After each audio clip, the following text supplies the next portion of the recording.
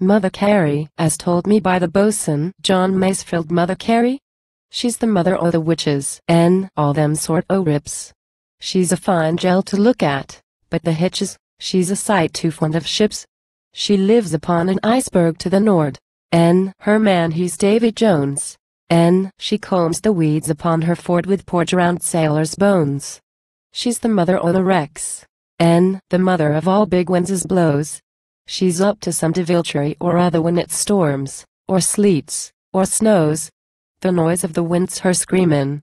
I'm arter a plump, young, fine, brass-buttoned, beefy-ribbed young seaman so as me and my maid can dine. She's a hungry old rip and a cruel for sailormen like we. She's given many mariners the gruel and a long sleep under sea. She's the blood o' many a crew upon her and the bones of many a wreck. And she's barnacles a growin' on her N. shark's teeth round her neck. I ain't never had no schoolin' nor read no books like you, but I knows single quote he ain't healthy to be foolin' with that there gristly too.